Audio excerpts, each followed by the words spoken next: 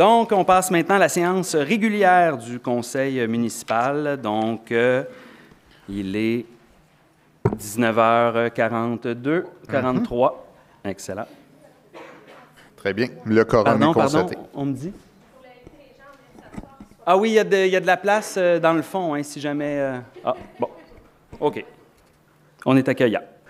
Alors, euh, ouverture de la séance et constat du quorum par le greffier. Le quorum est constaté, Monsieur le maire. Merci. Adoption de l'ordre du jour. Alors, il serait proposé, appuyé et résolu d'adopter l'ordre du jour tel que présenté avec une petite modification, soit un ordre différent. Le point 6.3.1 sera placé tout de suite après le point 6.1.2 et juste avant le point 6.1.3.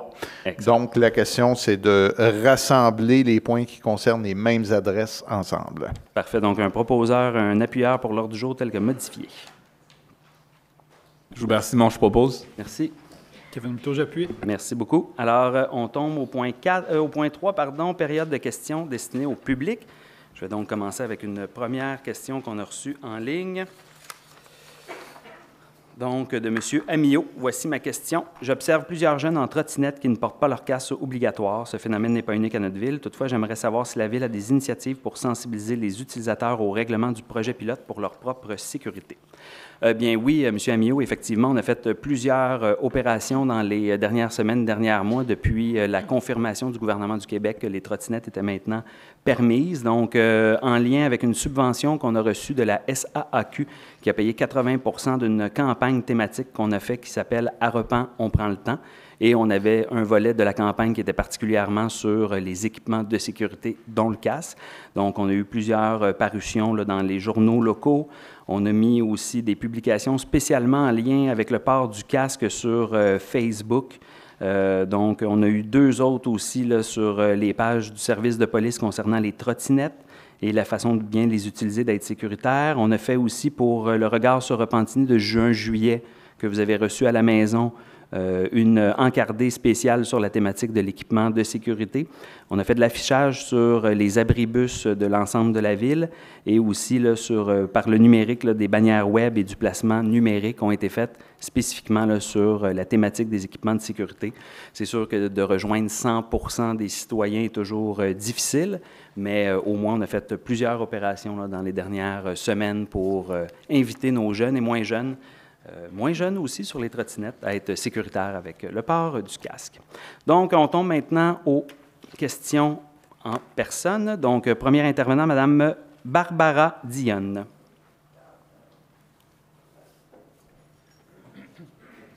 Bonsoir. Bonsoir, c'est moi la chanceuse. Il en fallait une casser la glace. Oui, bonsoir, Monsieur le maire, bonsoir les conseillers, conseillères. Je me présente, Barbara Dionne, je suis avec mon conjoint Serge Blanchet du 37 rue Belmont.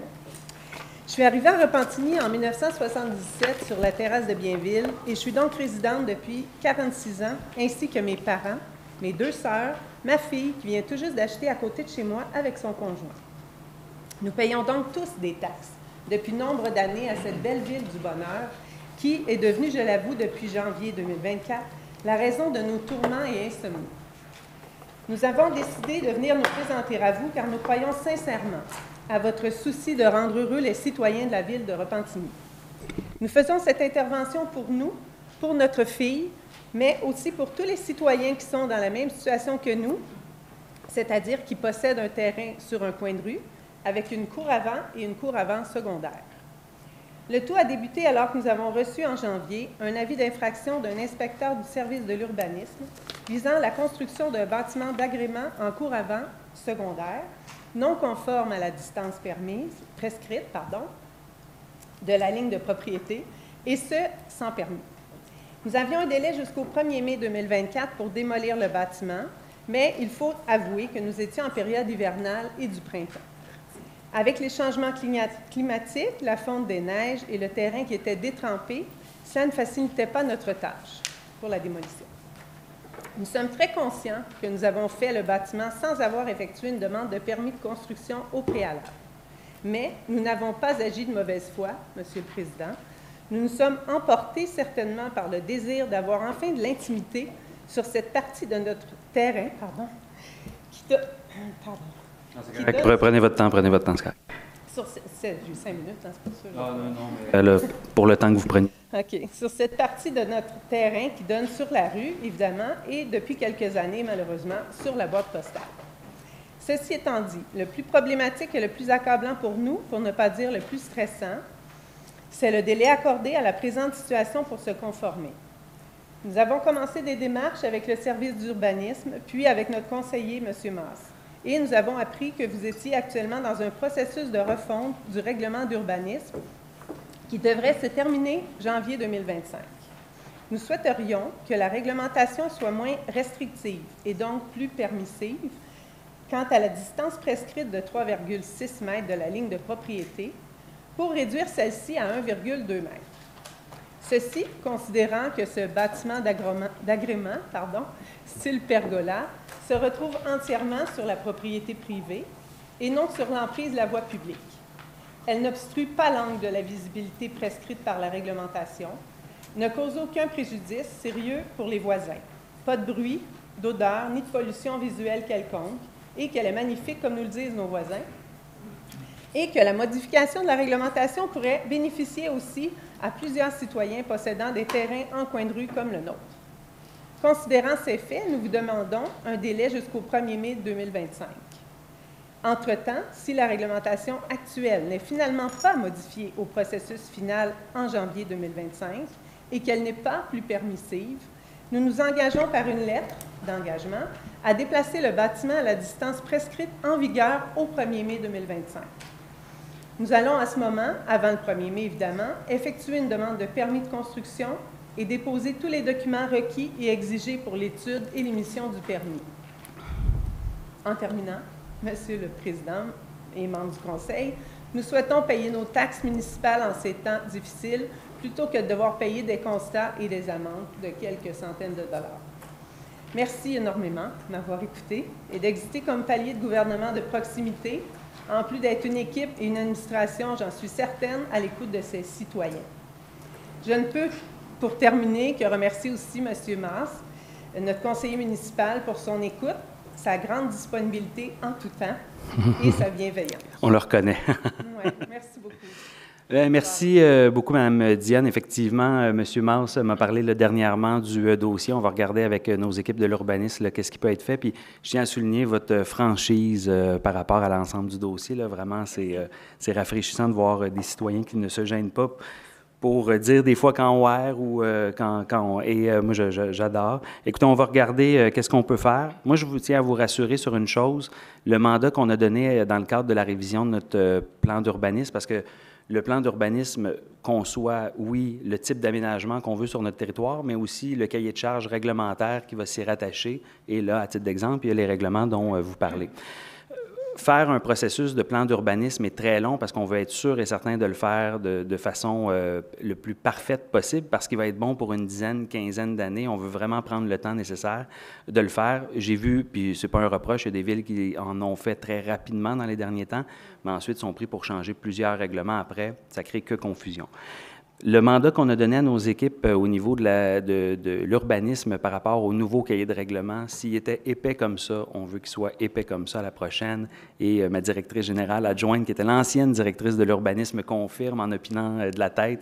Donc, effectivement, on veut s'assurer d'être beaucoup plus laxiste puis de donner une plus grande maîtrise des terrains privés aux citoyens.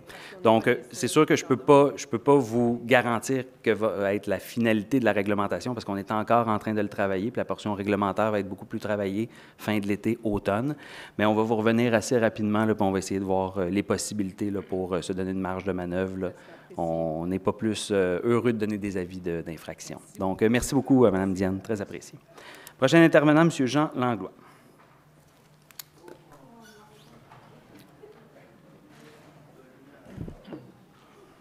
Pour venir à la séance extraordinaire, vous l'avez peut-être annoncé le 21 juin, mais en ce qui a trait au document, le document, j'ai pris connaissance, c'est aujourd'hui même, et non demain, non hier plutôt, pour l'extraordinaire. Je tiens à vous dire ça. Ça aurait été intéressant de savoir c'était à quoi l'extraordinaire exactement. Vous avez cinq minutes. C'était ça le but. Ben oui, c'est ça, cinq minutes. Je tiens sur une bonne note, euh, malgré les bouleversements que la France subit actuellement sur le plan politique. On sait que Paris va connaître les Jeux olympiques Et je félicite, je souhaite bon courage et bonne chance à René Cournoyer, quelqu'un d'exemplaire de Repentigny, et aussi euh, Madame, euh, Mademoiselle, plutôt Aurélie Trang, qui vont nous représenter ici pour le Canada aux Jeux olympiques de Paris. Je leur souhaite bonne chance, bon succès, en espérant que les Jeux de Paris tournent bien et tout fonctionne à la merveille. Alors, bonne chance à nos deux citoyens et citoyennes de la ville de Repentigny. Une note positive. Bon, ben vous aurez, eu, vous aurez eu des applaudissements ce soir. Déjà une bonne nouvelle. Bon, bien, euh, vous savez, on a réglé le problème de la rue Gagné. Euh, L'eau coulait 24 heures sur 24 pendant des années. Une autre Euh, félicitation. Bravo, Luc. Tu as réglé le problème de la rue Gagné. Bravo. il a fallu que je le dise pendant six fois euh, en séance du conseil depuis deux ans et demi. mais- Puis il fallait juste qu'un conseiller soit là pour le faire. Ben, j'y ai dit au moins six fois à vous, à vous tous. Mais là, j'aurais la question justement pour Martine Gendon, qui représente, si j'ai bien compris, le quartier du Boisé. C'est ça. Ben, c'est ça. Est devenu le Boisé. C'est un, c'est un nom. euh, La première conseillère du Boisé. Ça fait 41 ans que je vis là. Fait que j'apprécie le secteur. Euh, la rue Labadie et la rue L'Archevêque, c'est le même phénomène que Gagné. C'est un dossier que je vous ai laissé. euh, J'ai perdu mes élections en novembre 2021. Et c'était le même problème, 24 heures sur 24, une eau qu'on a connu des augmentations substantielles, tarification de 76 cents le mètre cube, a passé à 80 cents le mètre cube, les premiers 224 mètres cubes, les premiers 50 000 gallons. Et les excédents ont subi une hausse historique de 96 sous à 1,29, 42 sous d'augmentation. Ceux qui ont des piscines comme moi, vous allez le constater lorsque vous allez remplir votre carte, les hausses de, de taxes d'eau substantielles. Vous voulez pas que je réponde à euh, ça, M. Langlois? Vous riez de ça. Mais moi, la rue Labadie, j'aimerais savoir si le dossier est réglé. Ça coûte toujours à Labadie la rue 28 L'Archevêque. Pardon? Pourquoi vous ne l'avez pas réglé, vous, en 28 ans? Je ne pouvais pas le régler? Moi, j'étais à l'opposition, j'arrêtais pas de le dire que ça coule, ça coule. J'ai donné des solutions, ça ne s'est pas réglé. Ça a pris six fois pour régler gagner. Ils ont la méthode, là. hein?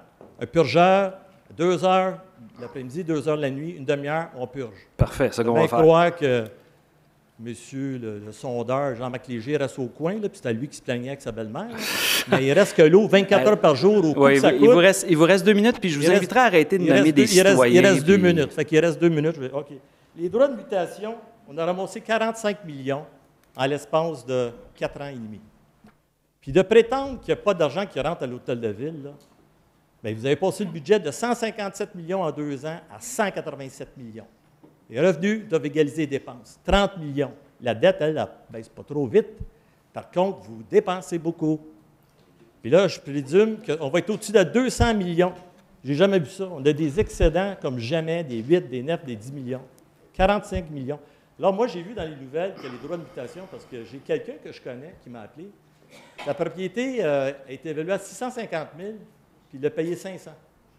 Il y a eu un projeté pour 25, 26, 27 de payer des droits de mutation de 840 000 16 000 quelque chose. de 800 droits de non, quelqu'un aurait 840 000 de droits de mutation à payer? Non, 840 000 d'évaluation. Ah! OK? Et, il se doit de payer 16 800 de droits de mutation, qui représente environ... C'est le coefficient que Maître vous a expliqué à Ben la oui, dernière séance m'expliquait ça, que vous étiez étonné vous-même de l'apprendre, puis moi aussi Non, de je pas constater... dans- Ah, vous l'avez dit publiquement, vous écouterez votre vidéo. On apprend de quoi ce soir, c'est ça que vous avez dit vous-même. Ah bon. Mais moi, l'affaire, c'est que si jamais il arriverait un crash là, au mois d'octobre, puis que ça se met à descendre les propriétés, comme aux États-Unis en passant, qui descendent de 30% dans certains États actuellement, les évaluations, là, je ne comprends pas qu'on va sur du projeté sur des droits de mutation quand actuellement, c'est 150 000 c'est évalué. Madame Boissonneau... la question, c'est ça que j'aurais à poser.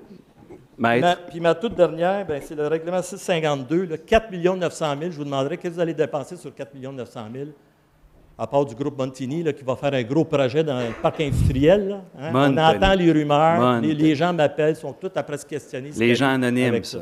Ah, c'est des gens anonymes, là, ils ne veulent pas dévoiler leur nom, mais je mets la mienne. C'est. Jean Langlois, l'anonyme, OK? Ah, bon. C'est moi qui vous pose la Mais ça, question. on le sait depuis le début que c'est vous l'anonyme. Ben oui, ben Alors, oui, ben euh. Maître, je ne sais pas si euh, on pourrait répondre sur euh, le règlement 652. Euh, Peut-être pour commencer par le règlement 652 qui est en adoption d'ailleurs ce soir, il y avait des copies à l'entrée.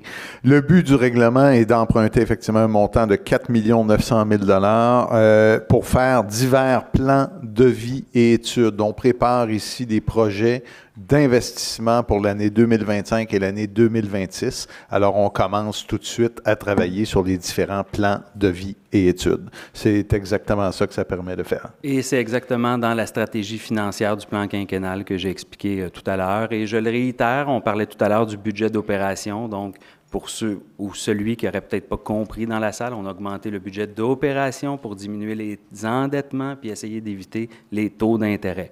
C'est assez simple comme... Euh, excellent, merci. Donc, euh, prochain intervenant, M. Mario Ouellette.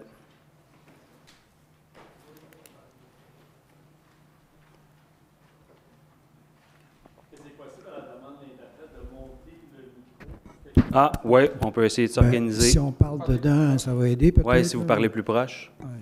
Parfait, excellent, merci. Ben, moi, je vais essayer d'être sur une note plus positive. Euh, bon, pour ceux qui ne me connaissent pas, euh, ça fait trois ans que je travaille avec des ados. Euh, je leur apprends le jardinage biologique et puis euh, ils, forment. euh, en fait, je suis juste le coach. Eux autres, ils sont, ils sont en, coopérative informelle parce qu'ils ne sont pas enregistrés au registre des entreprises du Québec, mais c'est un membre, un vote, donc c'est démocratique. Puis c'est eux autres qui décident de la mise en marché, puis tout ça. L'année dernière, on a eu des consultations citoyennes, et puis, bon, il y avait certaines problématiques qui étaient abordées. La densification de la population, les îlots de chaleur, euh, la mobilité vers Montréal, euh, les pistes cyclables, etc. Et puis, euh, je regardais, à un moment donné, j'ai fait une intervention, j'ai soulevé, j'ai dit, voulait, la- l'animatrice de la firme euh, BC2, euh,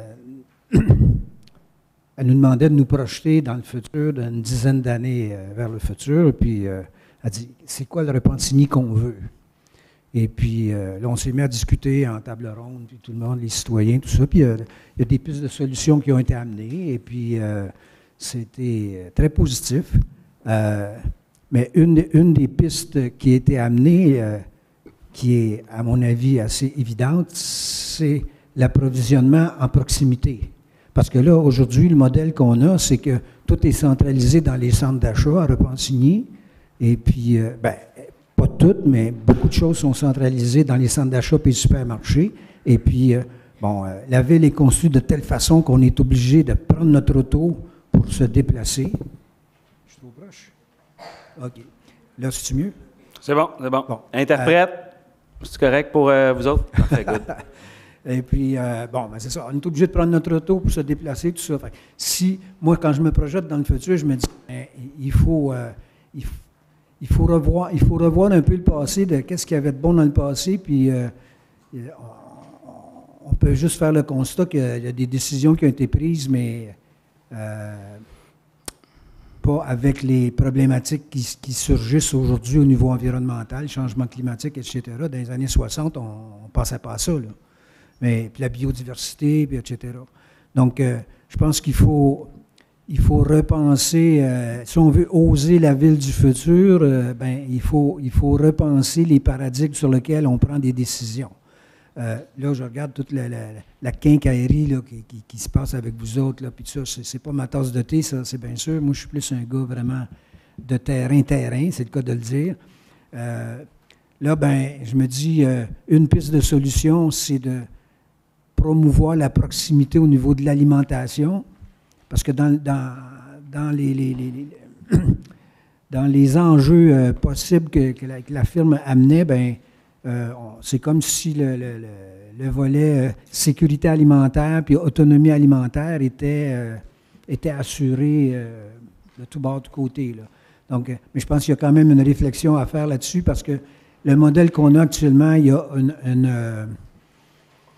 un coût environnemental énorme là, au niveau de, de l'approvisionnement. C'est que c'est- ça, ça vient, c'est produit en région et puis euh, souvent même ça vient de l'autre bout du monde. Et puis, euh, bon, on arrive ici, c'est transporté par camion, puis là, on est obligé de prendre notre auto pour se déplacer, pour aller s'approvisionner.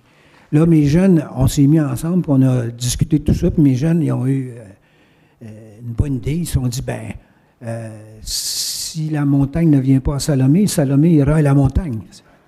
Hein? Ben, fait que là, ils se sont dit, on voudrait développer dans les quartiers des kiosques d'approvisionnement de légumes biologiques et puis que, que les gens puissent euh, y accéder, mais à pied. Parce que c'est vraiment au niveau de la, local, local, c'est à proximité. Puis là, c'est les légumes qu'ils vendent, ben, ils sont produits sur le territoire agricole de Repentigny.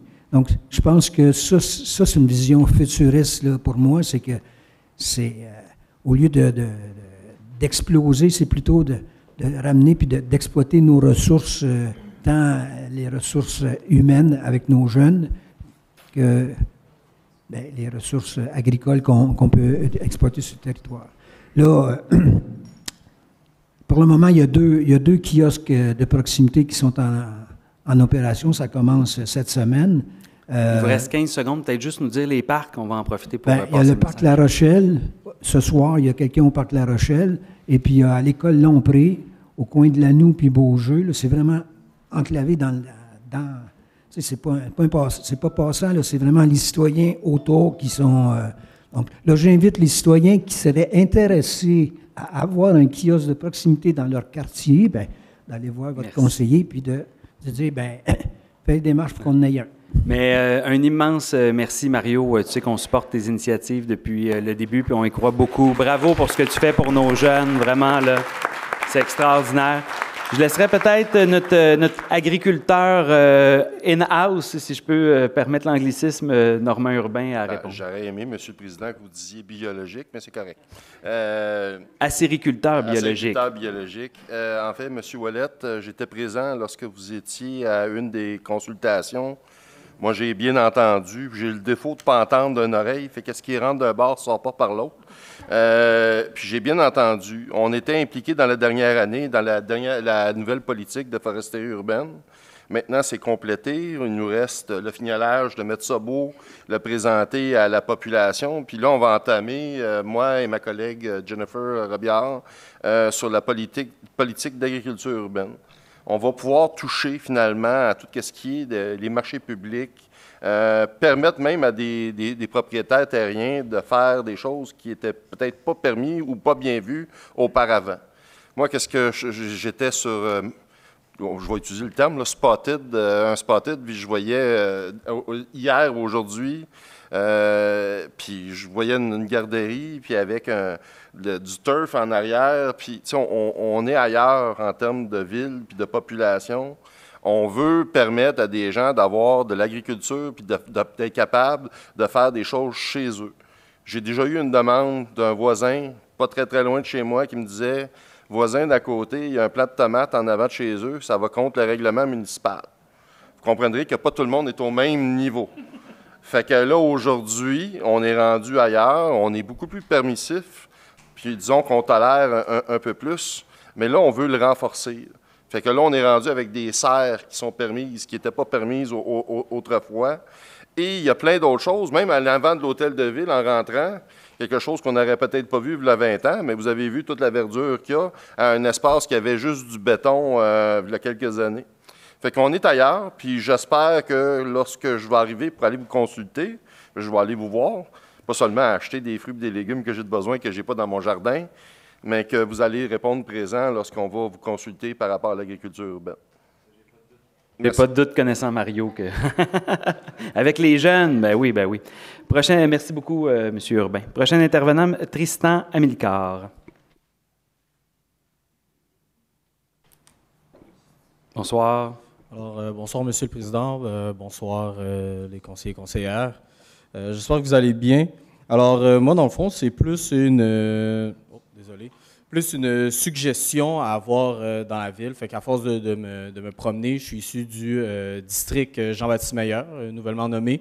Alors, euh, moi, ce que je voulais, c'est d'avoir euh, peut-être à des points stratégiques dans la ville, euh, ce serait d'avoir des cartes euh, de la ville, un peu comme on a devant l'île Lebel, c'est d'avoir des cartes euh, de la ville, mais avec les parcs, euh, les pistes cyclables, parce qu'on sait que les pistes cyclables ne sont pas toujours du même bord de la rue, mais au moins d'avoir à des places de, si, sans nécessairement regarder en ligne, euh, de voir qu'est-ce qui se passe, puis aussi que ce soit euh, les terrains de basket, soccer, tennis euh, ou même pickleball ou autre, ce serait quelque chose d'intéressant. Pourquoi? Ben pour permettre aux gens de découvrir certains coins qui sont peut-être plus reculés. Par exemple, comme dans Valmont-sur-Parc. Pour ceux qui ne savent pas, il y a beaucoup de parcs, mais on ne sait pas tous ils sont où, admettons. Moi, je sais que j'ai pris le temps de faire le tour à vélo, de visiter, Mais c'est sûr qu'il y a du monde qui habite peut-être dans ces coins-là qu'ils n'ont jamais vu. Et c'est peut-être une place où ils iraient, mais s'ils savaient euh, que ça existait. Alors, euh, puis moi, je me dis, je crois que c'est au sous-sol de la ville, quelque part dans les loisirs, il y a une grosse, une grosse carte, justement, qui montre tout ce qu'il y a. Et même moi, j'ai découvert des choses que je ne savais pas euh, qu'il y avait dans la ville. Fait que je me dis, ça pourrait être quelque chose d'intéressant un peu partout dans la ville de Repentigny. Très intéressante, euh, suggestion. Merci beaucoup, euh, Tristan. Puis c'est ça aussi à quoi sert la période de questions, d'avoir des citoyens qui viennent nous soumettre des super de bonnes propositions. On va regarder avec euh, l'équipe de conseillers puis avec la direction générale, voir comment on peut, on peut articuler tout ça. Mais très bonne proposition. Excellent. Au Merci, courant. bonne soirée. Merci beaucoup, Tristan. Merci. Oui, mais bonne main d'applaudissement. Merci. Prochain intervenant, et là, vous m'excusez, Alvina Nadren. Je voulais juste être sûr de bien prononcer le nom. Mes excuses, mes excuses.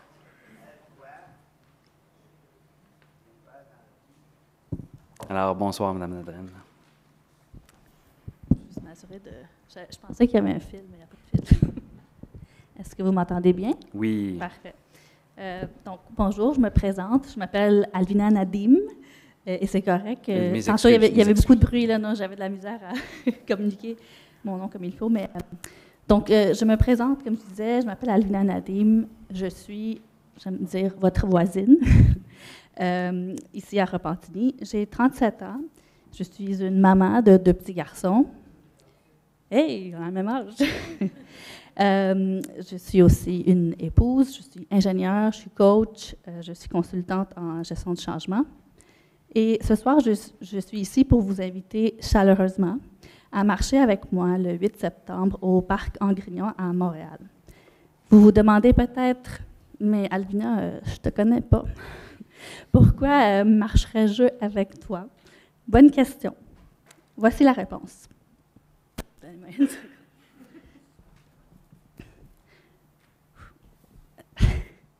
Prenez votre temps, il n'y a vraiment pas de presse. Oui, on va s'assurer de vous donner. euh,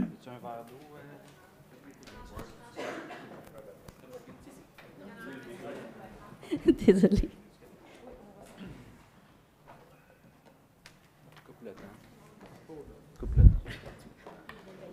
On va couper le temps, on va vous laisser. Merci. C'est comme les nerfs un peu, puis... OK. Merci. Oui. C'est le stress. Non, mais la- laissez-la raconter son histoire, vous allez voir pourquoi elle a de l'émotion. Allez-y. OK. Donc, pensais pas être euh, si émotive. Parce que je suis correcte maintenant. Euh, L'année dernière, quelques semaines euh, après mon 36e anniversaire, j'ai reçu un diagnostic de cancer de l'ovaire.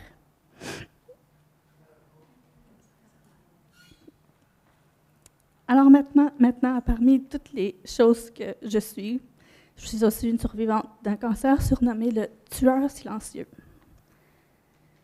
Je me considère chanceuse parce que je suis parmi les 15% de femmes diagnostiquées, diagnostiquées à un, un stade précoce. Merci Marie-Hélène, c'est fin. Merci. Ah oui. Je veux juste que vous me compreniez, je pleure trop, puis Prends ton que temps, prends ton temps, il n'y a pas de problème. OK. Le taux de survie à 5 ans pour les diagnostics avancés chute de 90% à 50% Ça veut dire que quand une femme reçoit un diagnostic de cancer de l'ovaire, si elle n'est pas à un stade 1, ben dans 5 ans, c'est pile ou face si elle va vivre. Pile ou face. C'est un jeu cruel de pile ou face pour 85% de femmes atteintes. Et ce n'est pas acceptable. Parce que depuis 50 ans, 50 ans, nous n'avons pas réussi à améliorer les taux de survie ou à développer un test de dépistage fiable pour ce cancer, ni des traitements qui sont euh, assez euh, prometteurs, disons. Mais avec la chance que j'ai eue dans ma malchance, j'ai décidé de parler haut et fort pour donner une voix aux femmes dont la voix et la vie ont été enlevées par ce tueur silencieux. Je crois fermement en l'espoir et en notre capacité à changer les choses. nous vivons dans un monde où les véhicules autonomes et l'intelligence artificielle sont devenus une réalité. Alors pourquoi ne pourrions-nous pas trouver de nouveaux traitements prometteurs pour le cancer de l'ovaire? Donc, en tant que patiente partenaire en recherche avec Cancer de l'ovaire Canada, je suis témoin du travail extraordinaire qui se fait en ce moment ici au Québec et à travers le Canada pour combattre cette maladie. Alors, comme je le faisais au début de mon discours, comme votre voisine, je vous invite de vous, joindre à moi. Marchons ensemble le 8 septembre au Parc Angrignon à Montréal. Le temps d'agir est maintenant et ensemble, nous pouvons amasser des fonds cruciaux pour propulser la recherche et donner de l'espoir à tant de femmes. Donc, tout, ce que vous avez besoin à faire, c'est de vous inscrire et faire une différence juste en vous inscrivant et de faire partie de, cette mission. Si vous êtes intéressé, venez me voir euh, au fil de la soirée, après cette réunion, et je serai ravie de vous fournir des informations. Merci. P- bravo, bravo.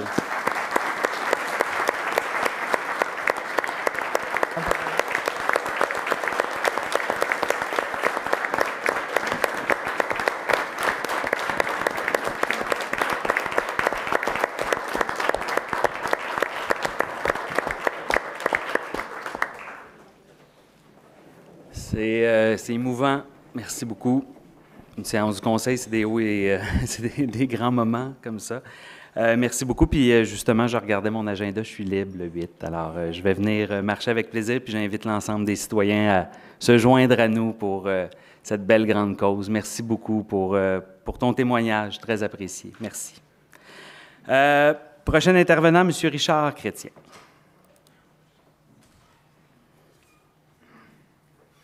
Les questions se suivent, mais ne se ressemblent pas. Moi aussi, j'ai une chance sur deux de. de- j'ai 50% de décédés. J'ai la, la gêne de la mort subite, euh, mais euh, je n'ai Oh. jamais parlé. Le micro, le micro. Moi aussi, j'ai une chance sur deux de.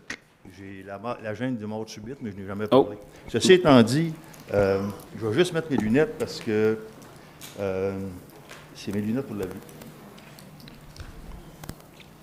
J'aimerais savoir qui sont les membres.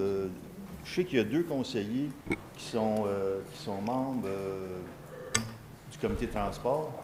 Est-ce qu'il y en a d'autres? Ah ouais, peut-être parler plus fort, on vous entend pas, mes excuses. Il y a deux euh, conseillers. Il y a Mme Roux, puis il y a M. Mars qui sont sur le comité de transport. Est-ce qu'il y en a d'autres ou c'est juste ces deux-là? Parce Ouais. que sur. Il y a aussi M. euh, Buteau et euh, M. Landreville. OK, parce que sur le site, quand on va voir sur le site de la ville, il y a juste deux noms de marqués. Ah, on va voir. S'il vous plaît, parce que Ça vous l'avez déjà mentionné. Oui, ben oui, je suis surpris. On va voir. Bon, j'ai vérifié avant de venir, puis je suis pas bien bon en informatique. J'essaie d'imprimer ça avec de la ça. Non, non, non, mais c'est correct, on va aller voir là. les- OK. Euh, deuxième chose, euh, ma question, c'est que je veux euh, enregistrer ma dissidence au conseil de ville sur les coupures qui ont eu lieu et qui vont avoir lieu en transport collectif d'Exo. Donc, puis ça, je l'ai appris par le journal ici, c'est qu'il retrait définitif de la ligne ben, 1 n'existe pas, la T2, mais la T3, c'est Taxibus.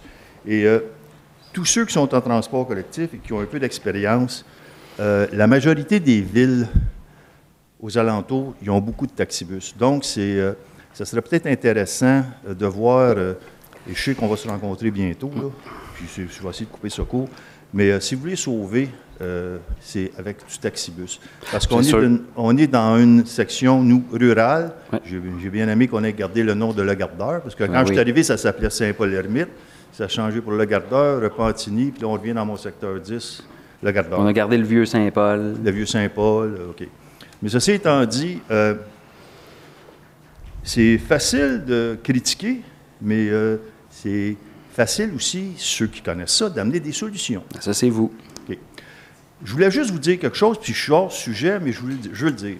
Au dernier conseil, il y en a qui se sont plaints que vous aviez été en vacances, puis ça avait coûté pas, excuse, pas en vacances. Ben non, tabarouette. Oh, je correct. Non, non, je me Ah, ouais, je sais, je sais, je te taquine. Ben oui, je Non, sais, c'est je m'en vais en vacances. Ah. Euh, vous aviez été faire un voyage, ça avait coûté 2500. Ouais. Ça rapporte combien, ça, à la ville, Ben, d'investissement? Ben, ça rapporte en partant Agriculture X qui s'en vient investir pas loin de 5 millions. Tout à fait d'accord avec ça. Donc, Merci. la Ça, c'est ce qu'on appelle un bon retour sur investissement. Et voilà. Et la vision d'une ville, c'est de développer le futur. Exact. Présentement, je sais qu'avec toutes les bâtisses qui s'en viennent d'ici, je ne sais pas c'est quoi le chiffre, là, mais on va friser sûrement à 95 000 habitants, Ah, pas loin, effectivement. pas loin. Donc, il faut développer un système de Ah, transport. totalement. Et euh, je, me, je me rends toujours disponible pour euh, aider à améliorer. Je vais vous laisser la lettre qu'Exo euh, m'a envoyée, que j'avais déposée à la MRC de l'Assomption, Oui. Que je n'ai pas pu être, euh, être présent parce que j'avais un contretemps. La prochaine rencontre, je ne pourrai pas être là parce que je suis à l'extérieur. Ça va être en septembre, puis on se prépare à, essayer d'améliorer le transport. Ben oui, puis euh, je vous remercie beaucoup pour l'intervention parce que ça me permet. Merci, euh, Monsieur Chrétien. Vous le savez, euh, c'est notre euh, combat commun qu'on a par rapport au transport en commun. J'ai encore un peu espoir parce que le premier ministre s'est engagé, puis on va avoir des bonnes nouvelles là, dans quelques semaines, attendez, attendez, pour le tramway, donc euh, jusqu'à Honoré-Beaugrand, ce qui nous permettrait aux 10 minutes d'avoir euh, des départs et d'avoir euh, des départs en tout temps pour compenser l'échec qu'a été le train de l'Est, qui était déjà un échec annoncé à l'époque parce qu'on emprunte des voies du CN. Donc, inévitablement, c'est sûr et certain qu'on ne pouvait pas avoir autant de départs qu'on voulait parce qu'au Canada, depuis 1897, la loi sur les trains de marchandises, ils ont toujours préséance sur ceux de citoyens sur euh, ceux de passagers, effectivement. Donc, déjà là, on a bon espoir avec un investissement majeur que le premier ministre va annoncer dans, euh, dans quelques semaines. Et euh, ensuite, c'est sûr qu'on s'est toujours parlé des défis qu'on avait dans les finances du transport en commun.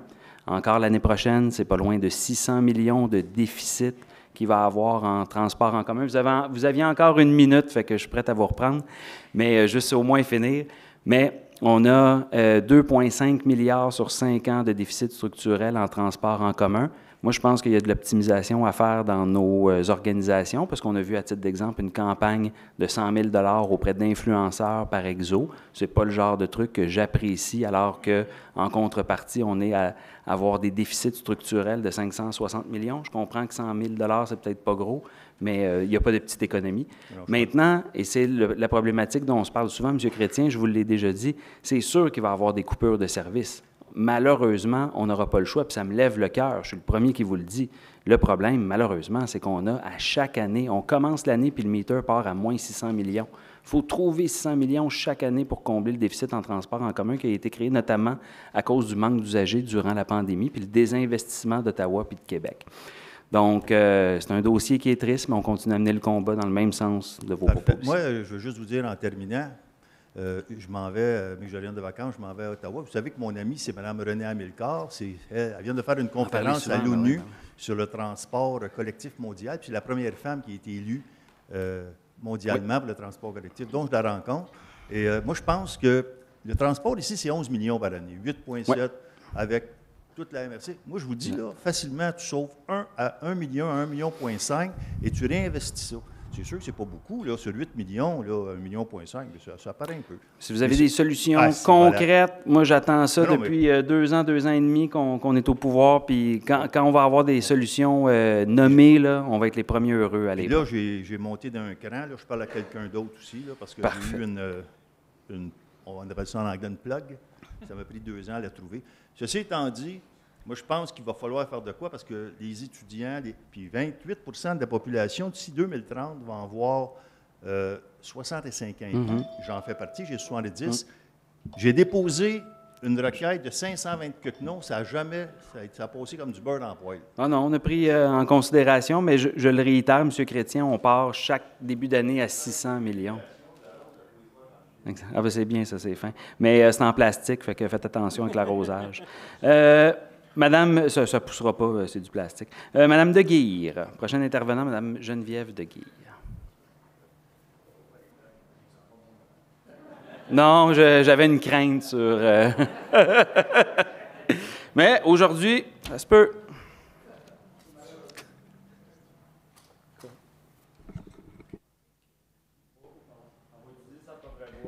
Ah oui, OK, parfait. Bonsoir. Euh, Bonsoir. Bonsoir tout le monde. Euh, ça fait plaisir d'être ici. Euh, malheureusement, je ne suis pas super en forme ce soir. C'est une demande importante. J'aimerais avoir toute l'énergie et l'abonnement, mais je ne suis pas super en forme, mais je vais procéder quand même.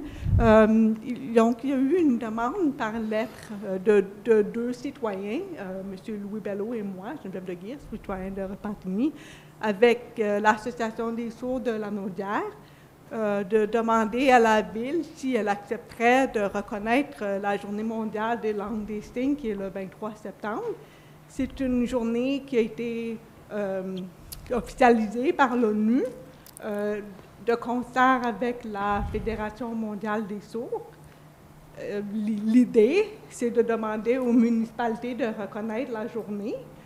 Mais aussi, dans la lettre, on n'a pas demandé aussi, c'est comme en supplément aussi, c'est possible de projeter une lumière bleue en, en honneur de la journée. Et aussi, euh, nous avons un drapeau international des personnes sourdes qui c'est possible aussi de faire monter. Mais dans la lettre, on a juste demandé si euh, le conseil municipal serait intéressé de reconnaître la journée du 23 septembre. Alors, euh, Madame de Guire, j'ai une bonne nouvelle parce que j'ai bien lu la missive que vous m'avez envoyée euh, un peu plus tôt, il y a quelques jours. Donc, euh, oui, on va effectivement reconnaître la Journée internationale des langues des signes. Vous savez l'importance qu'on accorde au dossier. On est le premier conseil municipal à Repentigny qui a ajouté les interprètes justement pour euh, se permettre d'être inclusif et que tous les citoyens se sentent à leur place à l'hôtel de ville. Donc euh, oui, on va regarder pour euh, les lumières, ça c'est technique, je ne peux pas m'avancer, mais on est partant pour le drapeau aussi, on a un mot qui est réservé pour ce type d'initiative. Alors, je tiens à sincèrement vous remercier de nous avoir interpellés sur ce dossier. On n'aurait pas découvert cette journée sans votre présentation, alors un immense merci.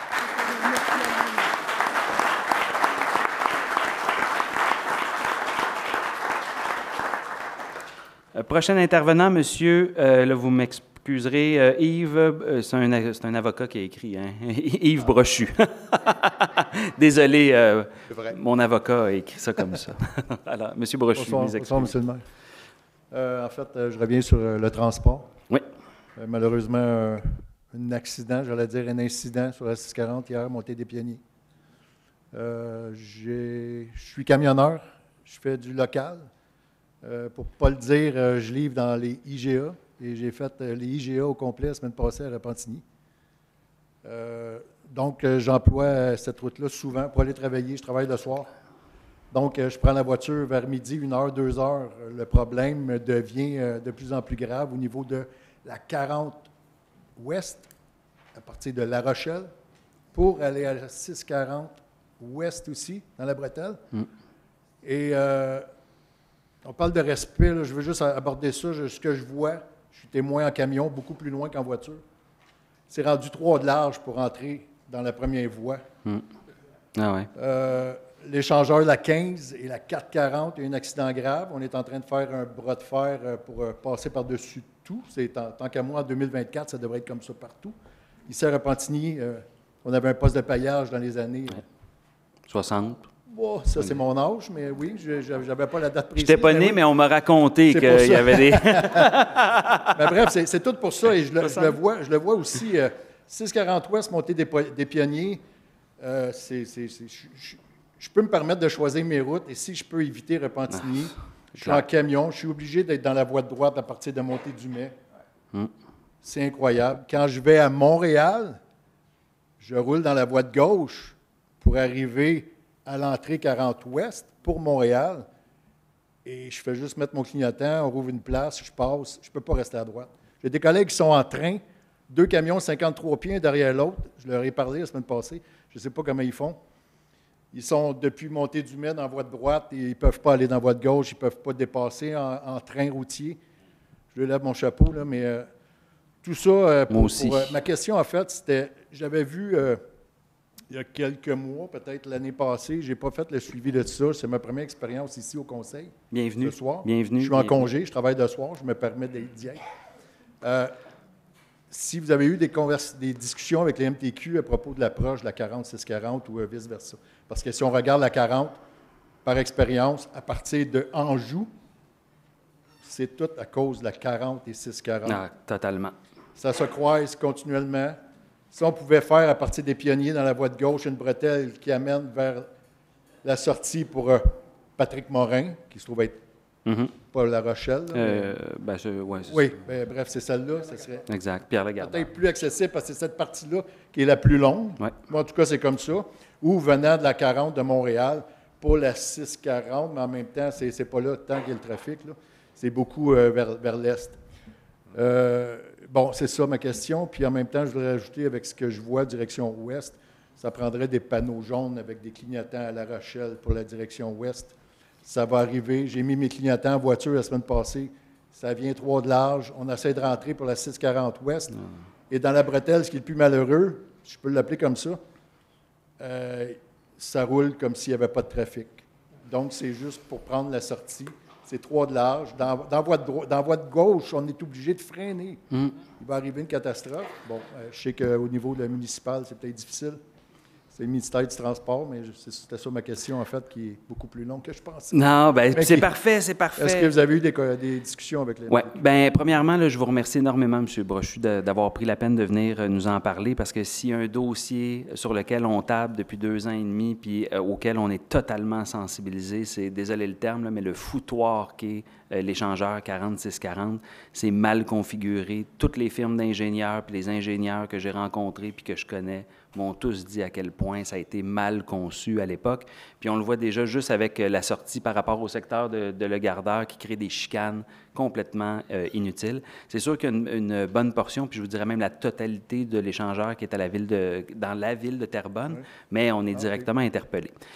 Euh, Ceci dit, euh, en 2022, ça, ça avait été un engagement électoral. Je, je vais faire juste un petit historique, mais là, moi aussi. C'est ça, exact. oui. C'est pour ça que je voulais en profiter. euh, euh, dans le fond, en- à l'élection de 2021, euh, Mathieu Traversy, maire de Terrebonne, et moi-même, même si on était candidats à la mairie, tous les deux se connaissant bien depuis des années, on s'était promis que si on gagnait, on faisait un forum sur la mobilité Terrebonne-Repentigny, parce qu'on sait qu'on a des défis autant en transport en commun que sur l'aménagement de nos autoroutes. On avait trois grandes demandes, euh, Mathieu Traversy et moi, qui peut se résumer ainsi. Avoir un euh, transport structurant, fiable, c'est ce que je vous parlais tantôt avec le tramway. C'est sûr que ça, en partant, ça peut nous aider à enlever sur les 200 000 automobilistes qui passent là, à chaque jour dans le secteur, les projections qu'on a, ça pourrait nous aider à enlever pas loin de 35 000 autos. Donc, c'est sûr que ça peut déjà aider un peu à la circulation. Ceci dit, ça ne change pas que l'échangeur est mal configuré. La deuxième demande qu'on a faite au gouvernement, c'est de revoir l'échangeur 40-640. Le troisième, c'était pour euh, la 25 à Terrebonne, donc euh, je vous ferai grâce. Euh, ce que euh, le gouvernement du Québec s'est rapidement engagé à faire. Donc, c'était François Bonnardel qui était ministre à l'époque. Quand on est arrivé en 2022, mai 2022, ça nous a pris un six mois, huit mois de préparer le forum. Euh, en mai 2022, le 30 mai 2022, François Bonnardel et le premier ministre se sont officiellement engagés à revoir la configuration de la 40 640. Je sais qu'ils ont travaillé euh, avec les ingénieurs du MTQ très fort dans la dernière année pour euh, voir les possibilités puis le type de réaménagement qu'ils pouvaient faire. Ce que j'ai eu comme dernière nouvelle là, à il y a peut-être à peu près un mois, un mois et demi, le gouvernement a un rapport entre les mains sur euh, les propositions puis qu'est-ce que pourrait être le futur de l'aménagement de la 4640. Pour le moment, ils sont pour des détails techniques puis des fins de validation qu'ils veulent faire, ne sont pas encore en mesure de venir nous le présenter euh, aux deux maires. Mais la ministre Geneviève Guilbeault nous a promis, puis encore euh, dernièrement m'appelait pour me dire qu'elle va nous rencontrer sous peu pour nous présenter les propositions. Et je sais que le gouvernement du Québec est déjà à préparer des fonds dans leur euh, plan québécois d'investissement pour euh, le réaménagement. Fait que c'est aussi un engagement du, euh, du premier ministre. J'aimerais ça que ça se fasse le plus rapidement possible parce qu'on l'a vu encore cette semaine. Euh, malheureusement, il va arriver quelque chose euh, de, de grave. Là. Ben, puis c'est déjà très grave ce qui est arrivé cette semaine, mais la prochaine fois, il va y avoir des morts. Je passe régulièrement sur cette euh, intersection-là, puis je suis pleinement conscient des, Mais des on défis. donne, on donne pas l'espace aussi qu'on a besoin. On parle, les camionneurs en ont parlé. J'en suis un. Je parle Ouais. au nom des autres aussi. Si on voit les photos d'hier, je ne comprends pas. À monter des pionniers, normalement, à cette heure-là, 13h30 environ, c'est congestionné à partir de montée du mai. Ouais. Mais moi, je roule avec une distance où euh, deux camions peuvent entrer en avant de moi, puis je reste toujours à 30 km. Mais la voie de gauche ralentit, freine, continue. C'est l'effet élastique con- continuellement.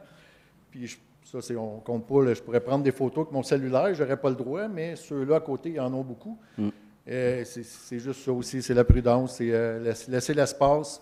Moi, j'arrête pas, puis j'arrive au même endroit que celui qui est à gauche, qui a freiné 20 fois Ouais. entre montée du mai et des pionniers. Mais bon, euh, c'est ça. euh, Je suis euh, totalement à la même place que vous. Moi, ce que je vous propose, même, M. Brochu, si vous avez une chance, là, j'ai deux de mes adjointes dans le fond. Là, si vous pourriez peut-être juste nous laisser votre numéro de téléphone ou votre adresse courriel, la minute qu'on va avoir le rapport officiel du gouvernement du Québec puis qu'on va pouvoir travailler un peu, j'aimerais peut-être ça au moins euh, vous présenter ce que le gouvernement Merci. propose. Comme camionneur, vous êtes peut-être le mieux à même, gentil, comme usager, de me dire euh, qu'est-ce qui est bon puis euh, pas bon. Merci beaucoup. Merci, Merci. beaucoup, M. Brochu, très apprécié. Prochain intervenant, ah, euh, merci, merci beaucoup. Euh, Madame Julie Poulain.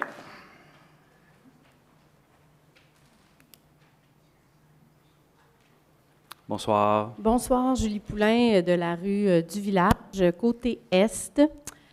Cette semaine, j'ai remis à M. Urbain une pétition concernant une proposition que les citoyens euh, souhaitent, les citoyens du côté Est de la rue du Village souhaitent, euh, après la, réfection des travaux du Pont-Rivet qui arrive euh, bientôt, bientôt. Donc, nous, on voudrait que la rue soit fermée de façon permanente afin que aucun citoyen de la rue du village côté Est puisse sortir, mais surtout que les citoyens qui arrivent du pont vers le nord cessent de tourner sur la rue à droite alors qu'ils n'ont pas le droit depuis euh, belle lurette. Donc, euh, ben, je veux savoir un peu euh, ce qu'il adviendra euh, de tout ça. Oui, bien, tout d'abord, euh, on a été sensibilisés. là, votre conseiller municipal m'a rapidement interpellé la minute qu'il a eu euh, de votre part euh, la pétition.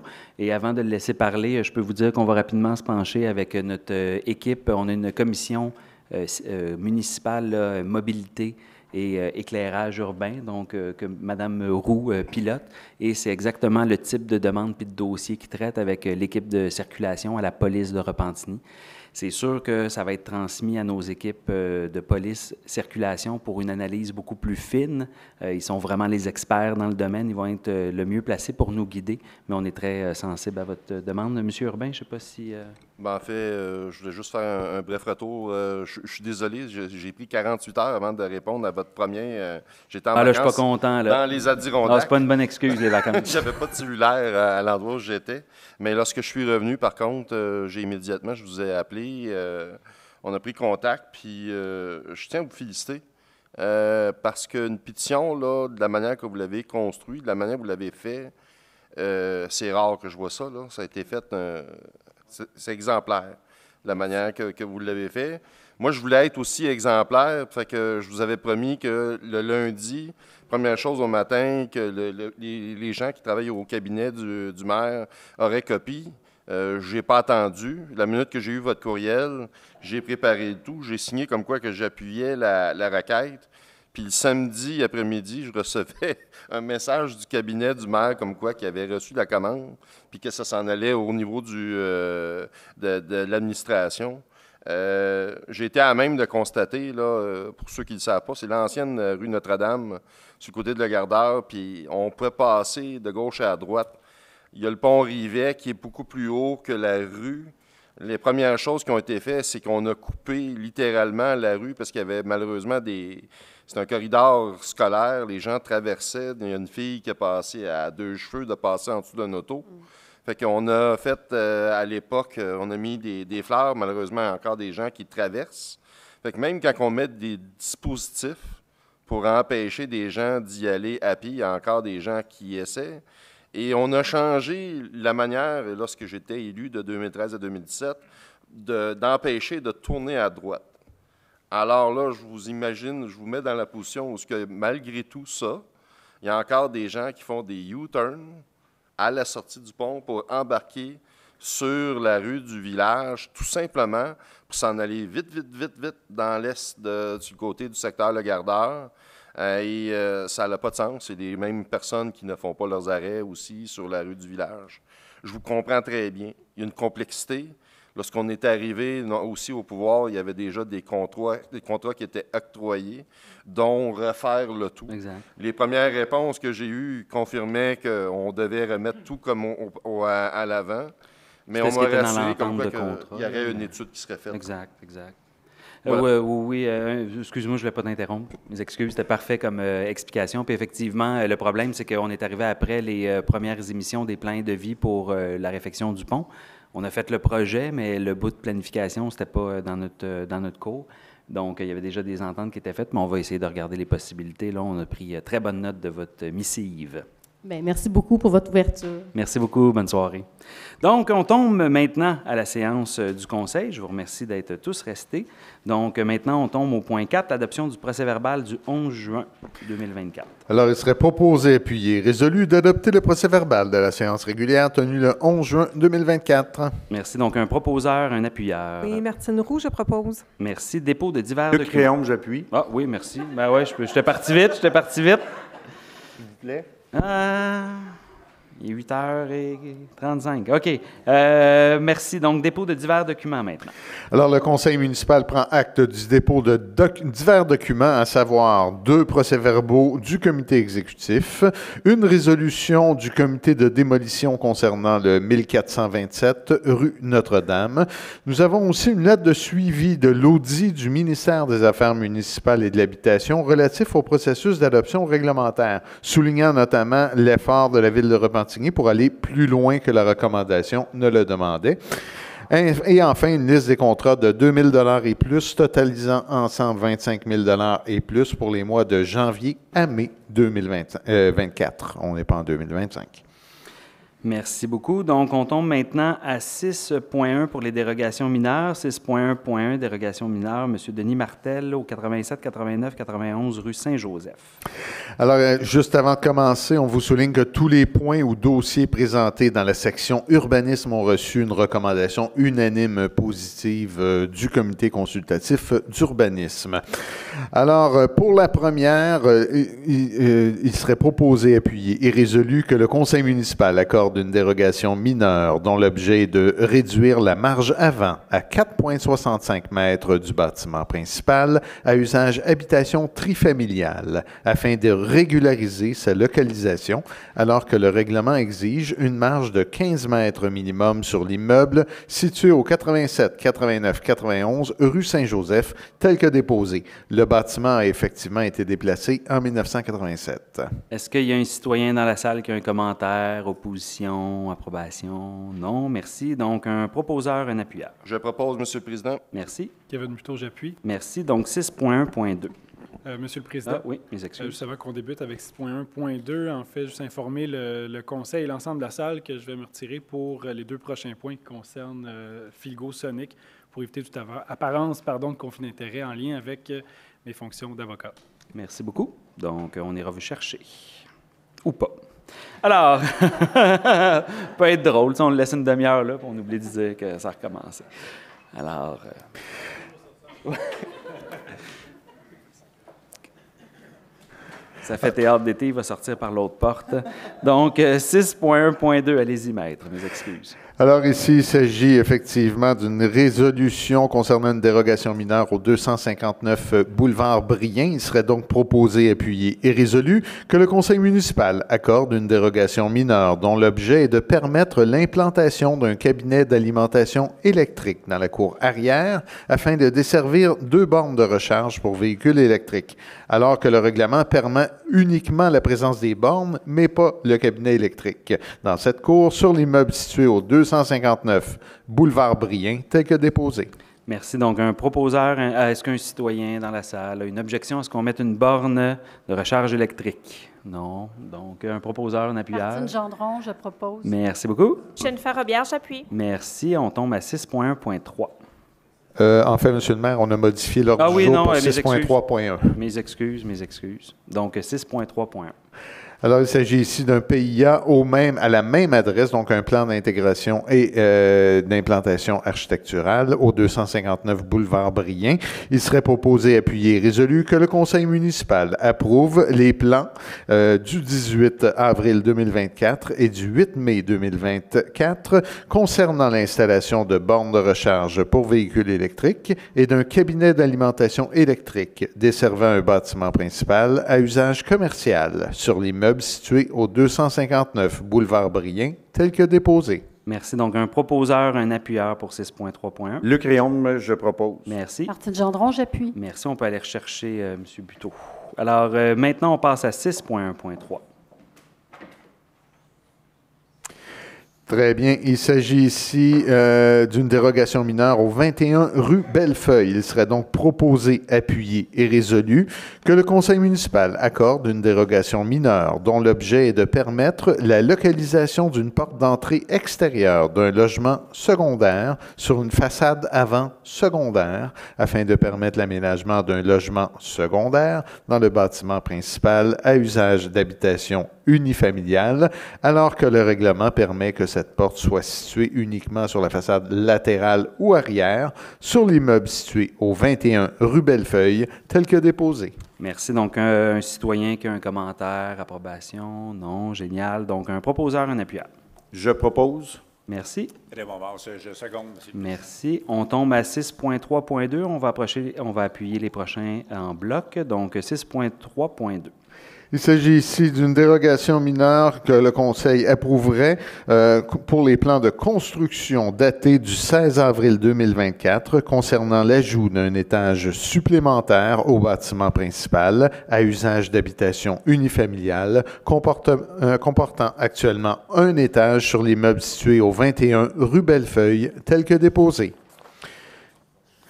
6.3.3 euh, concerne le euh, 20 rue Clermont. Il s'agit d'approuver les plans de construction datés du 31 mai 2024 concernant l'ajout d'un étage supplémentaire au bâtiment principal à usage d'habitation unifamiliale comportant actuellement un étage sur l'immeuble situé au 20 rue Clermont tel que déposé.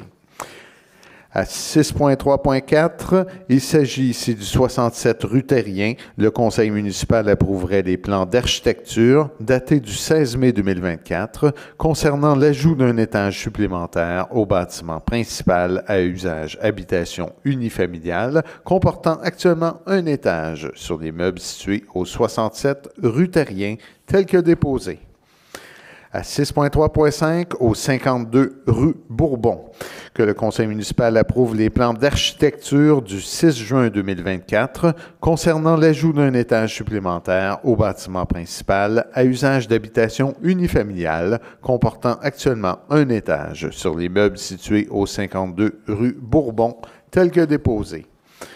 6.3.6 concerne le 25 rue Taillon. Le conseil municipal approuverait les plans d'implantation datés du 24 janvier 2018 et les plans de construction datés du 13 mai 2024 concernant l'ajout d'un étage supplémentaire au bâtiment principal à usage d'habitation unifamiliale comportant actuellement un étage sur l'immeuble situé au 25 rue Taillon tel que déposé. À 6.3.7, c'est le 760 rue Notre-Dame. Le conseil municipal approuverait les plans de construction datés du 4 juin 2024 concernant la rénovation du bâtiment principal à usage commercial sur l'immeuble situé au 760 rue Notre-Dame, tel que déposé. À 6.3.8, le 830 rue Notre-Dame, le Conseil approuve les plans de construction datés du 11 juin 2024, version mur avant en briques teintes, ainsi que les plans d'enseigne du 12 ju- juin 2024 concernant la rénovation du bâtiment principal à usage commercial et l'installation d'une enseigne murale sur l'immeuble situé au 830 rue Notre-Dame, tel que déposé à 6.3.9 au 48 boulevard Brien. Le conseil municipal approuverait les plans du 18 mars 2024 concernant l'aménagement d'un escalier menant au sous-sol desservant un bâtiment principal à usage commercial sur l'immeuble situé au 48 boulevard Brien tel que déposé à 6.3.10 concernant le 606 rue Lanaudière, le conseil municipal approuve les plans datés du 6 mai 2024 concernant l'installation d'une enseigne murale sur l'immeuble situé au 606 rue Lanaudière tel que déposé à 6.3.11 concernant le 444 rue des Industries. Le conseil municipal approuve les plans datés du 8 mai 2024 concernant l'installation d'une enseigne murale sur l'immeuble situé au 444 boulevard, euh, plutôt rue des Industries, tel que déposé. Je ne sais pas où je voyais le boulevard, là, mais enfin. 6.3.12, ici, il s'agit d'une modification à une euh, résolution de PIA qui a été octroyée en juin dernier. Effectivement, c'est sur un terrain vendu par la ville. Il y a déjà une sécurité contractuelle pour assurer la construction du bâtiment. Alors ainsi, le conseil municipal retirerait une des conditions imposées aux requérants à la résolution CM 165 13 06 23, soit celle de déposer une garantie financière de 50 000 pour la construction du bâtiment, puisque la construction est garantie par une entente contractuelle. Excellent. Donc, euh, en bloc, un proposeur et un appuyeur. Kevin Buteau, j'en fais la proposition. Merci. Luc Réaume, j'appuie. Merci. On tombe à 7.1, avenant au contrat Microsoft 365.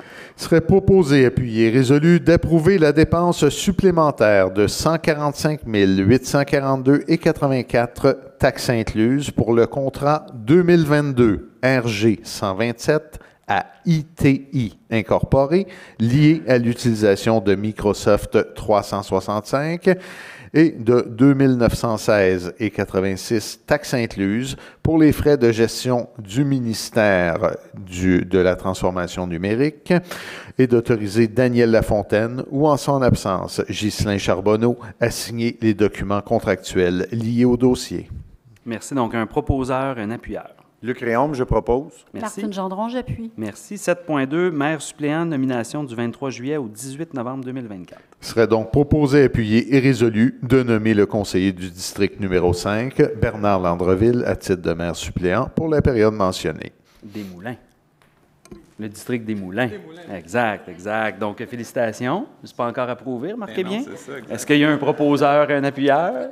Avec immense plaisir, Monsieur le Président, je propose. Merci beaucoup, Monsieur le Avec- maire suppléant. Avec grand plaisir, j'a- j'appuie. Merci beaucoup. Donc là, c'est vrai, félicitations. Donc, euh, bravo. Merci de votre confiance, Monsieur le maire. Et j'en profite pour prendre des vacances. Alors, vous allez être là pour... euh, non, c'est pas vrai, c'est pas vrai. Alors, euh, 7.3, octobre de contrat pour euh, les travaux de maintien d'actifs sur le Moulin-Grenier. Il serait proposé, appuyé et résolu d'octroyer à l'entreprise Construction MJD Incorporée le contrat pour la réalisation des travaux de maintien d'actifs sur le Moulin Grenier au montant de 294 910 et 88 taxes incluses, cette entreprise ayant déposé la plus basse soumission conforme. Et cette dépense sera financée par le règlement 608. Une excellente nouvelle pour notre patrimoine. Est-ce qu'il y a un proposeur, un appuyeur? Un amoureux du patrimoine, je propose. J'aurais été surpris de l'inverse. Jennifer Robillard, j'appuie. Merci beaucoup. 7.4, octroi de contrat d'entretien ménager, entretien ménager des garages municipaux. Il serait proposé, appuyé et résolu d'octroyer le contrat à la firme Entretien ménager Zepeda pour les services d'entretien ménager des garages municipaux pour un montant total de 243 689 et 51 taxes incluses pour trois ans, celle-ci étant la plus basse soumission reçue conforme. Merci. Un proposeur, un appuyeur. Martine Gendron, je suis pour le patrimoine, mais aussi pour le ménage. Oui. Très bien dit. Raymond Mars, je seconde. Merci beaucoup. Il faut que je continue. OK. 7.5. Renouvellement de contrat, support du logiciel des systèmes informatiques véhiculaires, véhicules de services de police et de prévention et lutte contre les incendies. Alors, il serait proposé, appuyé et résolu d'exercer le droit de renouvellement du contrat 2023 GG 103 pour le service d'aménagement, d'installation et d'entretien des équipements d'urgence et du support du logiciel des systèmes informatiques véhiculaires dans les véhicules du service de police et du service de prévention et lutte contre les incendies les systèmes Cybercar pour une période additionnelle d'un an à compter du 13 juin 2024 euh, pour un montant de 376 194 taxes incluses. Euh, cette dépense sera financée soit par le fonds de roulement, remboursé annuellement sur cinq versements égaux sur cinq ans à partir de 2025 ou 2026, dans les cas d'acquisition de véhicules et installation des équipements et de l'adaptation sur ces véhicules, et à même le budget de fonctionnement pour le reste. Merci. Donc, un proposeur, un appuyeur. Chantal Routier, je propose. Merci. Luc Réaume, j'appuie. Merci. 7.6, octroi de contrat achat d'un tracteur à trottoir pour le service des travaux publics. Il serait proposé, appuyé et résolu d'octroyer le contrat à la firme J. René Lafont Incorporé pour l'achat d'un tracteur à trottoir pour le service des travaux publics pour un montant total de 146 220 et 61 taxes incluses, celle-ci étant la plus basse soumission reçue et conforme. Et cette dépense sera financée par le fonds de roulement sur cinq ans à compter du 1er janvier 2025. Merci. Un proposeur, un appuyeur. Monsieur le, euh, le Président, le petit garçon en moi va le proposer. C'est un John Deere en plus. Jennifer Robillard, j'appuie. Merci beaucoup. Je vous vois moins sur le tracteur John Deere. Euh, 7.7, octroi de contrat remplacement de module de jeu Parc Marie-Soleil Touga. Il serait proposé, appuyé et résolu d'octroyer le contrat à la firme Les Industries Simexco Incorporée pour le remplacement des modules de jeu du parc Marie-Soleil Touga pour un montant total de 199 890 et 63, incluant les taxes, celle-ci étant la soumission ayant obtenu le meilleur pointage. Et cette dépense sera financée par le fonds de roulement sur cinq ans à compter du 1er janvier 2025. Excellent. Donc, un proposeur, un appuyeur. Monsieur le Président, je propose euh, avec grand plaisir. Merci beaucoup. Mon Dieu, on était éloquent ce soir? Un appuyeur. J'appuie avec grand plaisir également. On veut des investissements dans nos parcs, alors euh, j'appuie la proposition. Merci beaucoup. 7.8, euh, ça, ça va être, je vous souhaite bonne chance pour trouver un, lien à faire. Déblaiement de la neige, épandage d'abrasifs et de fondant dans les rues des secteurs 8 et 9. Alors, il serait proposé, appuyé et résolu d'octroyer le contrat à la firme Groupe Dagma Incorporé, ou Damga plutôt Incorporé, pour le déploiement de la neige ainsi que l'épandage d'abrasifs et de fondants dans les secteurs 8 et 9 pour un an, selon les prix unitaires apparaissant au bord de route prix, pour un montant total de 166 382 et 53 taxes incluses, celle-ci étant la plus basse soumission conforme. On mentionne que les secteurs 8 et 9 sont entre Brien et industriel et entre la rivière jusqu'à Iberville. Exact. Donc, espérant que cette résolution ne vous laissera pas de glace. Ah, j'ai réussi. Un brin de fraîcheur, oui, merci. Donc, euh, un proposeur et un appuyeur. Oui, Martine Roux, je propose. Merci. Jennifer Robillard, j'appuie. Merci beaucoup. C'est juillet, c'est la séance. On, on devait être à l'extérieur. J'essaie d'être festif. Donc, euh, 7.9, Théâtre Alphonse Desjardins demande d'utilisation du fonds de prévoyance pour les équipements non intégrés. Il serait proposé, appuyé et résolu d'autoriser l'achat de deux écrans pour le théâtre Alphonse Desjardins pour un montant totalisant 11 740 plus taxes, le tout financé à même l'excédent de fonctionnement affecté, théâtre Alphonse Desjardins, fonds de prévoyance. Merci. Donc, un proposeur, un appuyeur. Karine Benoît, je propose. Merci. Martine Gendron, j'appuie. Merci. 7.10, sous-catégorie résidentielle, projet de loi 39.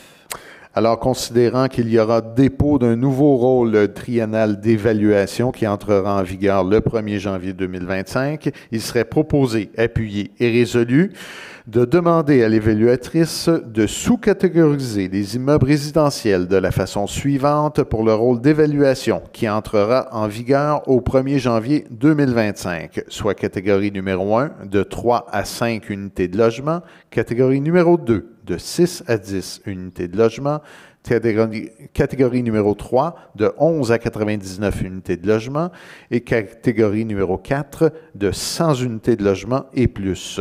Les immeubles de 0 à 2 unités de logement continueront de faire partie de la catégorie résiduelle. Merci. Donc, euh, un proposeur, un appuyeur. Je propose, Monsieur le Président. Merci. J'appuie, Monsieur le Président. Merci. 7.11, travaux de réflexion de la toiture au centre récréatif de Repentigny, demande de recours au volet 2. Il serait proposé, appuyé et résolu d'autoriser la firme Conception et Gestion Intégrée Incorporée à enclencher les travaux de réfection de la toiture du centre récréatif pour les sections 1, 2, 6, 7 et 8 au montant de 593 181 et 25 taxes en su selon la proposition déposée et jointe au sommaire décisionnel 2024-334 et de financer la dépense pour une part à même l'excédent de fonctionnement affecté centre récréatif, fonds de prévoyance volet 2 pour un montant de 235 540 avant taxes et de financer le solde des travaux euh, à même l'excédent de fonctionnement affecté centre récréatif surplus généré. Merci. Donc, un proposeur, un appuyeur. Je propose, le- Monsieur le Président, je propose. Merci beaucoup. Martine Gendron, j'appuie. Merci. On tombe à la sécurité urbaine 8.1, modification à la signalisation, retrait d'une zone d'arrêt interdit, ajout d'une zone de débarcadère. Alors, il serait proposé, appuyé, résolu de décréter le retrait de la zone d'arrêt interdit à partir du coin nord-est du 175 rue Philippe Goulet jusqu'au coin sud-est de l'intersection des rues Philippe Goulet et Champagneur. De décréter aussi l'ajout dans la même zone, exactement dans le même secteur, d'une zone de débarcadère de 5 minutes entre 7h et 8h et entre 14h30 et 15h30 de septembre à juin. Donc, un proposeur, un appuyeur. Oui, Martine Roux, j'en fais la proposition. Merci. Chantal Routier, j'appuie. Merci. 8.2, modification à la signalisation, ajout d'une signalisation d'arrêt interdit boulevard Basile-Routier. Alors, il serait proposé, appuyé et résolu de décréter l'ajout d'une signalisation d'arrêt interdit du lundi au vendredi de septembre à juin entre 7h30 et 16h sur le boulevard Basile-Routier. Le tout du le côté nord-ouest de l'intersection des rues Bécancourt et du boulevard Basile-Routier jusqu'à l'entrée privée du 835 boulevard Basile-Routier. Merci. Donc, un proposeur, un appuyeur. Chantal Routier, je propose. Merci. Martine Gendron, j'appuie. Merci. 8.3, modification à la signalisation, ajout d'une signalisation d'arrêt interdit rue Noiseux et Norbert. Alors, il serait proposé, appuyé et résolu de décréter l'ajout d'une signalisation d'arrêt interdit de 7h à 17h du lundi au vendredi de septembre à juin sur le côté ouest de la rue Norbert et de la rue Noiseux jusqu'au coin nord du terrain du 188 rue Norbert, sur le côté sud de la rue Noiseux, du côté de la piste entre le coin est de la résidence au 958 rue Noiseux et la rue Naples, et sur le côté nord de la rue Noiseux, depuis le coin ouest de la rue Nollet jusqu'à 5 mètres à l'ouest de la borne Fontaine, située près de l'intersection Noiseux et Norbert. Le Conseil décrète aussi la mise en place de panneaux de stationnement autorisés pour 5 minutes de 7h à 17h de septembre à juin sur le côté ouest de la rue Noiseux depuis le coin nord-ouest de l'intersection Noiseux et Beauchesne jusqu'à 5 mètres à l'ouest de la borne Fontaine située face à l'intersection des rues Noiseux et Norbert. Je n'envie absolument pas nos traducteurs euh, avec l'ensemble de tous ces petits détails. Non, on souligne euh, votre incroyable force. Alors, un proposeur, un appuyeur. Oui, Martine Roux, je propose. Merci. Jennifer Robillard, j'appuie. Merci. On tombe dans les règlements 10.1.1, 138.3, règlement modifiant le règlement numéro 138 concernant les systèmes d'alarme. Alors, avis de motion serait donné qu'à une séance subséquente du Conseil, tenue à une date ultérieure, sera déposé pour adoption le projet de règlement numéro 138-3 intitulé Règlement modifiant le règlement numéro 138 concernant les systèmes d'alarme. Le conseiller déposant, le- donnant l'avis de motion dépose une copie du projet de règlement, je devrais dire la conseillère. Euh, le- la présentation, l'objet est d'augmenter la tarification facturée pour une fausse alarme incendie et la porter l'ensemble du territoire. Excellent. Donc, euh, est-ce qu'une conseillère en donnerait l'avis? Ça me semble être moi, la conseillère. Ah, J'en donne l'avis, Monsieur le Président. Merci beaucoup, euh, Madame Benoît. 10.1.2, 465-3, interdiction de circuler avec un rouleau en mouvement. Alors, avis de motion sera donné qu'à une séance du Conseil municipal tenue à une date ultérieure sera déposé pour adoption le projet de règlement numéro 625-3 intitulé Règlement modifiant le règlement, euh, pardon, c'est pas 625, c'est 465, voilà, tiret 3. Alors, modifiant le règlement 465 concernant les opérations de déneigement sur des terrains privés par des entrepreneurs en, déneigement afin d'interdire la circulation sur la voie publique avec des rouleaux de souffleurs en mouvement. Le conseiller donnant l'avis de motion dépose copie du projet de règlement. L'objet est d'interdire la circulation d'un véhicule appartenant à un entrepreneur en déneigement privé avec des rouleaux de souffleurs en mouvement et la portée l'ensemble du territoire. C'est ce qui est agréable avec la séance de juillet. On parle déjà de l'hiver. Alors, euh, un conseiller ou une conseillère pour en donner l'avis. J'en donne l'avis, Monsieur le Président. Merci beaucoup. 10.1.3, 479-3, règlement amendant le, num- le règlement numéro 479 concernant la prévention des incendies. Alors, avis de motion serait donné qu'à une séance subséquente du Conseil tenue à une date ultérieure sera déposé pour adoption le projet de règlement 479-3 intitulé Règlement amendant le règlement 479 concernant la prévention des incendies. La conseillère donnant l'avis de motion dépose une copie du projet de règlement. Son objet est d'actualiser la version du Code de construction du Québec applicable dans le cadre des demandes en passant de la version 2010 à la version 2015. Clarifier que lorsqu'une analyse du code est demandée, celle-ci doit être préparée par un professionnel. Simplifier et clarifier le processus d'émission de certificats d'autorisation pour les événements spéciaux. Augmenter le montant d'assurance responsabilité nécessaire pour un événement spécial avec pyrotechnie.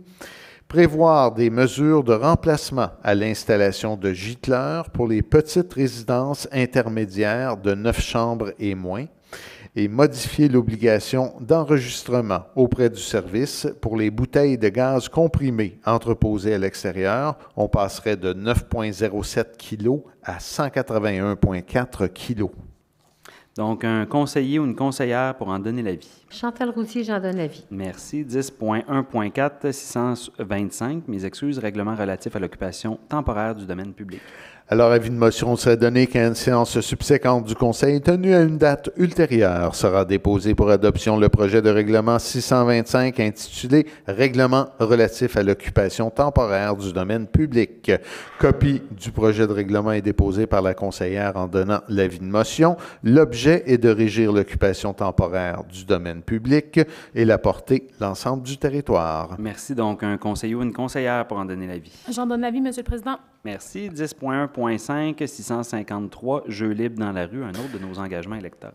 Alors, avis de motion serait déposé qu'à une séance subséquente du Conseil tenue à une date ultérieure sera déposé pour adoption le projet de règlement numéro 653 intitulé Règlement autorisant le jeu libre sur certains chemins publics dans les limites de la ville de Repentigny.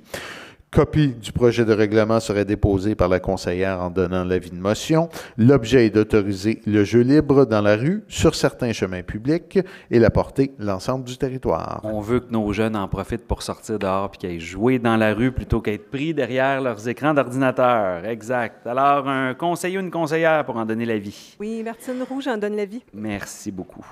Alors, euh, 10.4.1, tiré- euh, donc on tombe à 10.4, adoption, 10.4.1, 1-5, règlement modifiant le règlement numéro 1 relatif au comité exécutif afin de préciser les délégations de pouvoir. Alors, l'objet a bien été énoncé, la portée et l'ensemble du territoire. Il serait donc proposé, appuyé et résolu d'adopter le règlement numéro 1-5 intitulé Règlement modifiant le règlement numéro 1 relatif au comité exécutif afin de préciser les délégations de pouvoir. Merci. Donc, un proposeur, un appuyeur. Luc Réaume, je propose. Merci. Joubert Simon, j'appuie. Merci.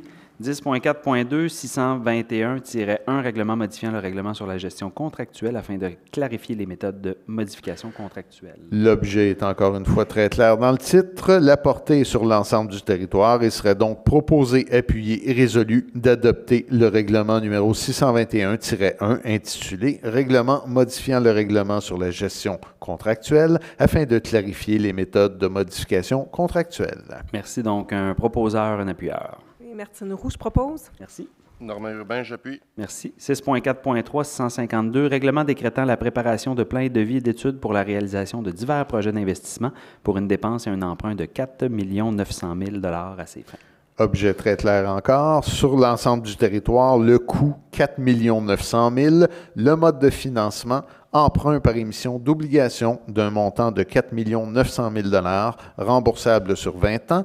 Le mode de paiement et de remboursement, une taxe foncière spéciale imposée à tous les contribuables sur la base de la catégorie et de la valeur. Il sera en conséquence proposé et appuyé et résolu d'adopter le règlement numéro 652 intitulé Règlement décrétant la préparation de plans et de vie et d'études pour la réalisation de divers projets d'investissement pour une dépense et un emprunt de 4 900 000 Merci. Donc, un proposeur, un appuyeur. Jennifer Robière, je propose. Merci. Luc Réaume, j'appuie. Merci. Ceci épuise l'ordre du jour de la séance du Conseil. Donc, on arrive maintenant à la levée de l'Assemblée. J'aurais besoin d'un proposeur et d'un appuyeur. Un mot? Ah, Un une intervention? Allez-y. Ben, je voulais parler que ce week-end, il y avait eu mon festival qui était le Festival Jeune Public. C'est-à-dire que c'est un festival pour les familles, les 2 à 12 ans. C'est gratuit. C'est le seul festival qu'on a dans la région euh, et même à la grandeur du Québec. Et cette année, euh, la température était de notre côté et on avait une programmation extraordinaire. J'ai la chance d'être sur le conseil d'administration depuis 12 ans et on a frôlé les 11 000 personnes qui sont venues sur l'île Lebel, autant découvrir euh, ce que le, festival avait à leur offrir que d'être à l'île, que d'être sur notre territoire. Il y a des gens qui viennent d'un peu partout euh, pour ce festival-là. Alors, ce fut un énorme succès. Et euh, par la même occasion, je vous invite les jeudis midi, c'est les jeudis de la rame musique, c'est-à-dire vous apportez votre lunch. C'est très populaire, c'est de midi à 13 heures, c'est gratuit sur le préau, c'est-à-dire face à la fontaine. Il y a des gens qui ont les pieds dans l'eau, euh, d'autres ont leur lunch, leur chaise, mais arrivez tôt, ça devient de plus en plus populaire et euh, il y a des gens qui sont là. Dès, euh, dès 11h30 pour garder leur place. Et euh, je pense que ma collègue va parler euh, des spectacles en plein air, fait que je la laisse aller. Moi, c'était pour le jeudi midi. Merci beaucoup, euh, Martine. J'ai lu sur sa feuille. Oui, c'est c'est ça, je m'en allais dire. Il va falloir que je cache quand j'écris. Premièrement, j'aimerais vous dire un immense merci d'être ici. Vous savez, c'est la Maison des citoyens. Comme euh, notre maire, Nicolas Dufour, vous a dit, c'est la Maison des citoyens. Alors, vous êtes vraiment les bienvenus. C'est peut-être pour certains d'entre vous la première fois, mais j'espère ne pas être la dernière. Alors, venez nous voir. Puis quand vous allez au micro, peut-être comme si on était dans le salon, jasait. Vous voyez, là, on est, on est en famille ici, fait que c'est important. J'aimerais simplement vous dire un immense merci. Plusieurs d'entre vous avaient été présents pour la porte ouverte du 8 juin dernier au service de police euh, dans le côté de, la, de. C'était notre deuxième édition. Ça a été un franc succès. Et comme d'habitude, il a fait super beau. Alors, euh, moi, je dis toujours ça, on est du bon monde, fait qu'il fait beau quand on fait des belles activités. J'aimerais aussi vous dire que le, du 16 au 19 juillet, donc ça s'en vient bientôt, il y a quelque chose, vous savez, qui coûte rien dans la vie. C'est quoi? C'est le don de sang. Ça, ça sauve des vies et ça vous coûte rien. Je sais que des fois, on a peur, là, mais je vous le dis, ça vaut vraiment la peine. Alors, du 16 au 19 juillet, on vous donne rendez-vous. C'est le service des urgences de Repentigny qui vous donne rendez-vous aux Galeries Révenard pour faire un don de sang. Avec l'été qui, qui est là en plus, on a toujours besoin de sang, de toute façon. Alors, je vous suggère de venir. Ça serait vraiment bien. Moi, c'est sûr que je vais y être. Euh, je ne pourrai pas donner de sang parce que j'en ai donné euh, au mois de juin. Fait qu'il y a quand même un délai, mais je vais être présente quand même pour aller saluer les gens. J'aimerais aussi vous rappeler, en effet, que la boîte à musique euh, se transporte vers le secteur de Le Gardeur dans mon district, qui est maintenant le Bourgneuf et puis le district 11. Alors, euh, vous allez pouvoir venir voir les colocs samedi prochain, le 13 juillet, dès 20 heures. Mais demain- Oui, demain aussi. Il y en a une dans le secteur de Repentigny, en effet. Et euh, c'est Alpha Rococo. Alpha Rococo, oui, en effet, M. Lebrun me l'a dit. C'est Alpha Rococo demain. Alors, venez chanter avec nous. C'est toujours tellement plais- plaisant de tous se rencontrer. Puis si vous voyez vos conseillers municipaux, le maire, venez donc nous jaser. Vous allez voir, on a du fun, on a vraiment du plaisir, tout le monde ensemble. Et c'est ça la différence avec Avenir Repentigny, qui est toute notre équipe, c'est d'être proche des citoyens. Fait que venez nous voir, ça nous fait un immense plaisir. Sur ce, bonne soirée à tous. Merci beaucoup. Merci, merci. Qu'il y avait d'autres membres du conseil qui euh, souhaitaient s'exprimer? Non? Good. Merci beaucoup, Michel. Tu as raison. Effectivement. Alors, vous voyez, il ne manque pas d'activité à Repentigny. Sur ce, maintenant, la levée de l'Assemblée. Un proposeur? Je vais le proposer comme à l'habitude. Merci beaucoup. Je vais Si on me le permet. Appuyé par M. Simon. Simon. Alors, un immense merci à vous tous. Bon retour. Bonne soirée.